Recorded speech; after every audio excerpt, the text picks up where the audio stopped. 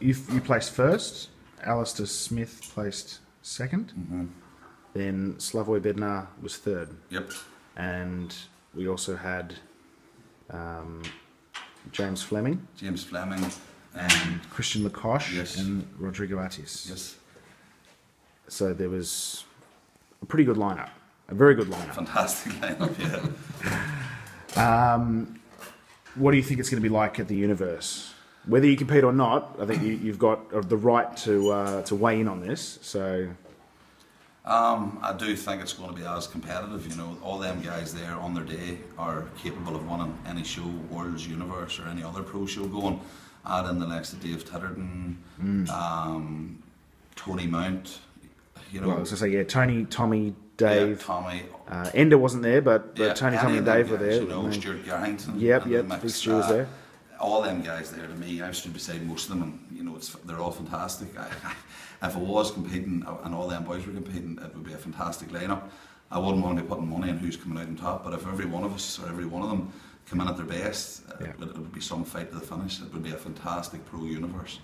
Um, and obviously, we know that Lee Priest is going to be out in England at the end of this year for the Universe. We don't know whether he's going to compete or not, but he certainly will be at the Universe. So, uh, what do you think that's? What do you think that's going to do for the Universe, and what do you think that'll do for NABBA Pro? Well, to me, Lee Priest is the pinnacle of last year's universe. You know, you've seen one of the best bodybuilders ever in the world.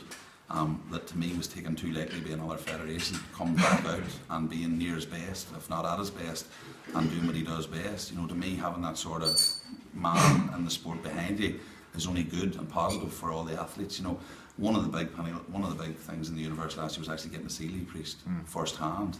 And to get standing beside him on a stage, you know, losing to him would be an honour at the end of the day. It'd be something that you, you know, you could go away happy enough with if you got a second place to Lee Priest. I don't think anybody could turn around and say they, they were arguing with that decision. You know, I think you go to bed sleeping. But to me, it's only good for the sport. You know, you've one of the best bodybuilders to come out of Australia. You've one of the best bodybuilders ever to come out of the world. Fantastic genetics, fantastic shape, um, and an amazing person. Lovely to speak to, and I think it's a great ambassador for NABBA. Now, there's another gentleman from down our way, Steve Orton. Aye, yeah. He won the he won the He won the worlds worlds last won the year. over, overall worlds last year, Yes. and we didn't have a pro division then, but I don't know whether he's going to do the universe this year. I've heard rumours that he might, but we're not sure. Um, how do you think he'd go? Steve Because he, he's a he's a big unit. He's one of the boys that will be right up there. I seen uh, I seen pictures of him before he competed in the Worlds last year, and I've seen the Worlds last year, and his legs are out of this world amazing. I don't think anybody on that field could match him from the waist down, hamstrings, billowing quads, billowing glutes, you know, hanging down. Everything was there. Upper body to match, young, mm. potential everywhere. A few more years behind him competing, and I would say be one of the boys would be very hard to beat. Mm. Even at the universe this year, I wouldn't want to be standing beside him. So I wouldn't, you know. On the other side of things, you know, in, in Melbourne we've got uh, Jake Nikolopoulos, who doesn't Class three yeah doesn't have the size, but the the proportion, the symmetry, his shape, Shape. is just out of this world. I've seen him compete again class three, thought again fantastic. Seen him a few years back as well, made unbelievable gains up to last year.